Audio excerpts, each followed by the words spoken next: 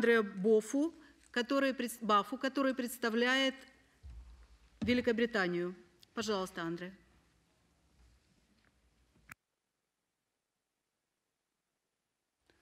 Uh, thank you, Madam President. We seem to be talking about separatism as though it's a bad thing.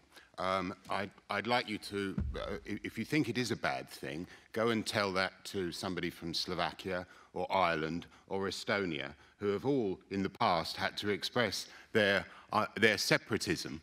Um, and, and quite rightly, we back them. I do, do not think that separatism in itself is a wrong thing. It's rather uh, it, you know, it is not a danger. Separatism can be just the, um, just the free democratic expression of people for some kind of identity. It is this general drift into centralization, and we, we use the word subsidiarity a lot, but we've been talking in this session about, for example, in the EU, wanting to centralize business taxes, minimum wage levels, because perish the thought that might result in competition between countries. It's that very centralizing view of Europe that makes me and many other people in the United Kingdom want to leave the EU, or even better, just hand our membership card to Turkey.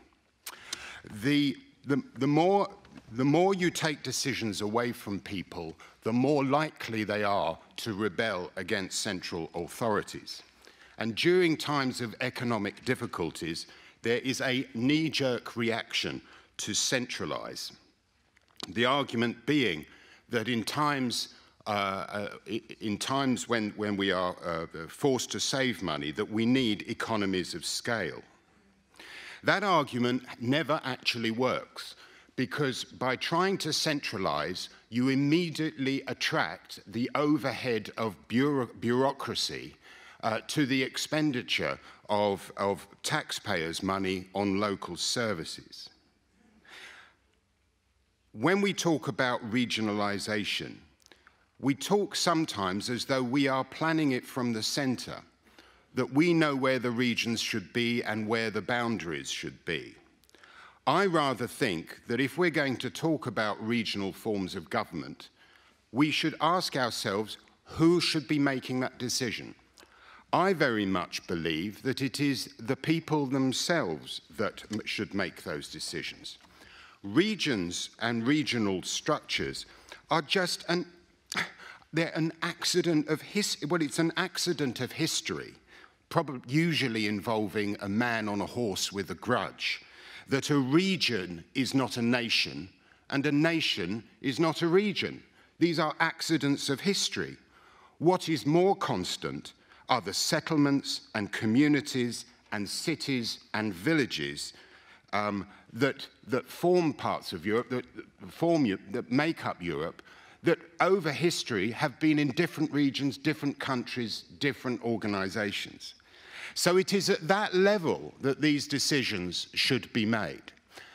If we take, for example, an initiative in the United Kingdom where three London boroughs uh, amounting to a total population of about half a million, a little over half a million people, have voluntarily decided to merge their administrations.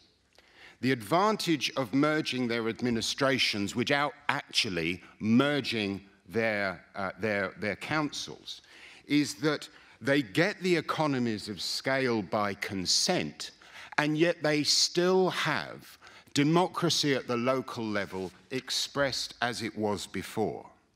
So in our drive to save money, in our drive to sit here at the center of Europe, telling Europe what to say, can I urge people not to make assumptions that every single separatist movement is wrong? I mean, we know of one particularly in Scotland.